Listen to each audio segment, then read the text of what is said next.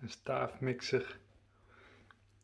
Een beetje middencategorie. Inventum was vroeger een beetje, een beetje gemiddeld merk. Maar nu is het een beetje al uh, medium merk als keukenapparaat.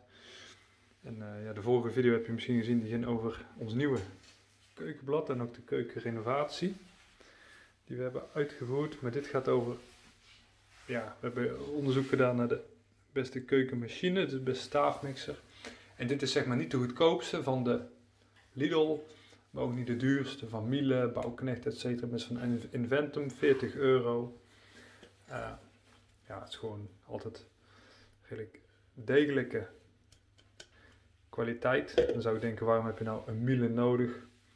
Uh, dat vind ik dan bijvoorbeeld belangrijker, want we hebben hier wel bijvoorbeeld deze combi magnetron en de oven en de vaters, omdat je dat zo vaak gebruikt. Maar deze gebruik je ja, toch niet dagelijks, althans de meeste mensen niet, maar ja, voor het pureren van allerlei dingen en natuurlijk voor babyvoeding is het wel handig dagelijks.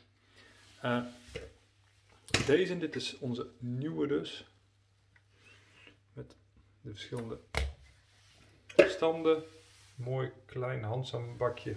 Het mooie hiervan is ook dat hij niet al te groot is in de, in de keukenkastje, zeg maar. Want natuurlijk kun je een hele lompen kopen, maar ja, dan staat hij vooral zeg maar in de weg. En nu heb je ja, een mooi klein compact apparaat met de mixer zelf en met een gewoon degelijk aansluitsysteem. Dus dat, dit is de 301S. Voor degene die het wil weten, je ziet hier dat hij 600 watts heeft. En dat is erg belangrijk, dus dan kan hij echt wel heel stevig en veel uh, mixen. Dus dat is hem.